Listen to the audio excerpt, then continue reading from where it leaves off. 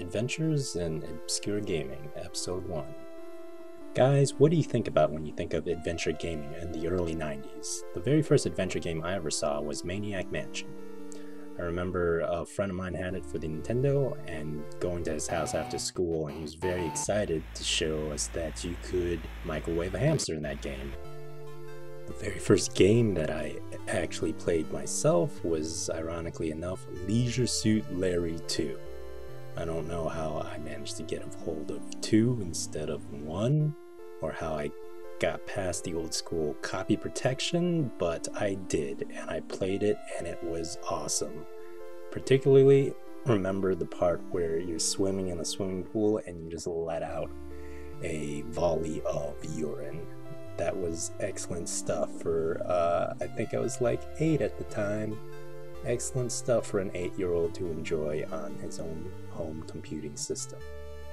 I guess what I'm saying is, at the time, if you grew up in the 90s, the two biggest gaming companies, if you were into adventure games, were LucasArts and Sierra Company. LucasArts was known for making games like Sam and Max, Day of the Tentacle, and two of my personal favorites, The Secret of Monkey Island 2 and Full Throttle, the first adventure game that I ever beat without looking up walkthroughs whatsoever.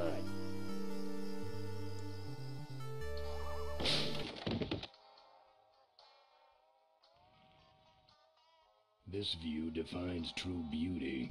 Meanwhile, Sierra Company made games like King's Quest, Space Quest, Police Quest, Quest for Glory.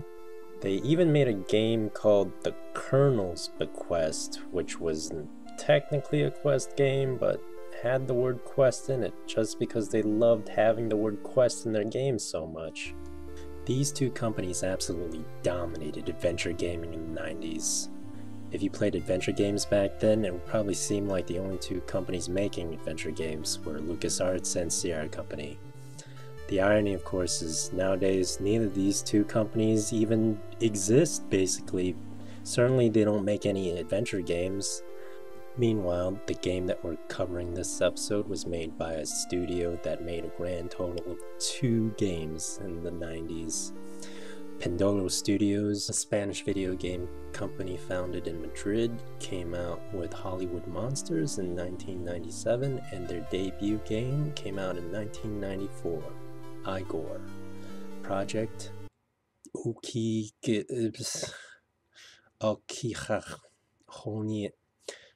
Igor, Project Unpronounceable, was their debut project and came out at the height of adventure gaming, 1994. By then, Myst had been released. The CD-ROM was just coming into popularity, and games that featured full motion video were just starting to be made, a format that I'm gonna go out on a limb here and just say that probably has not stood the test of time. You'd never understand, just stay out of it, I'm warning you.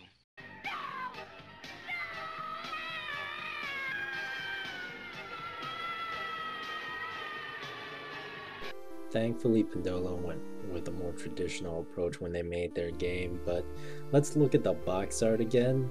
So out of these three guys, an old necromancer, the janitor with some headphones on, and just the red-haired guy eating a sandwich.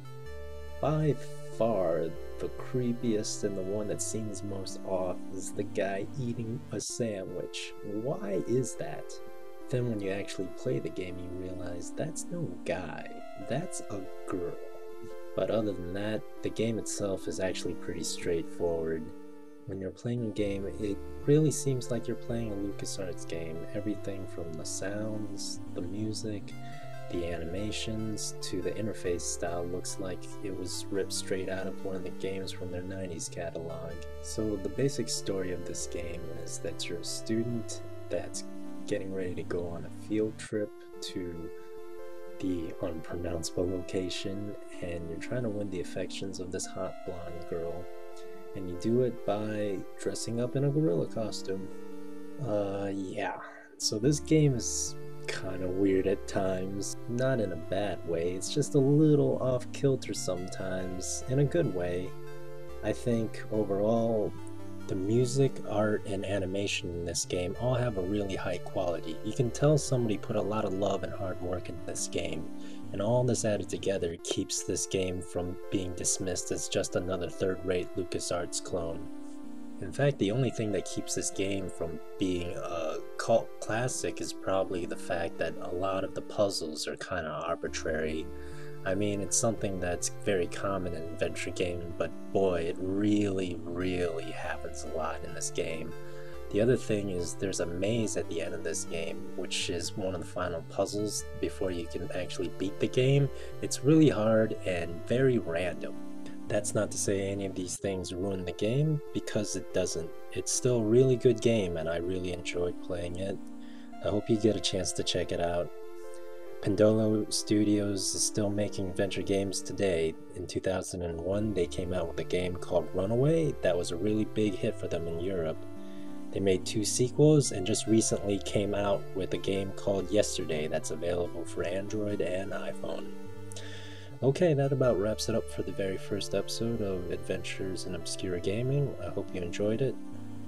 I'm going to be coming out with an episode every week, uh, hopefully, and I'll be trying to get better at making these. So if you enjoy them, they will probably improve. If you did not enjoy it, well, they'll still improve. So join us next week where we'll have another adventure in obscure gaming. Until then, take care.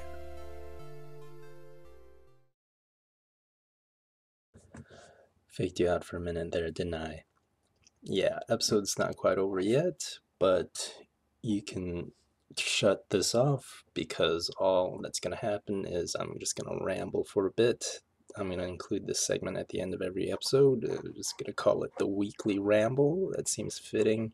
Just going to be talking about whatever's on my mind. This week, uh, I just wanted to take some time out to explain why I'm doing this series. So, growing up, I played a lot of video games, and for whatever reason, they tended to be these games that nobody else had ever played or heard of. And a lot of them were games that just never stood a chance for whatever reason, but had stuff going on in them that was really interesting and just really set them apart. So that's what this series is going to be about is I'm going to be covering uh, these games that pop culture forgot and I'm going to be trying to tie them back to stuff that people actually care about, that people actually know about, and the effort of hopefully getting people to give some of these games a second look. And yeah, so please join me on this hopeless endeavor. I hope uh, you learned about a brand new game this week and was able to give it a try. Join me next week. We'll be doing the same, uh, same thing, same thing with a different game. That's uh, that's the basic idea, I think. And uh, yeah, all right. Thanks for tuning in. See you next week.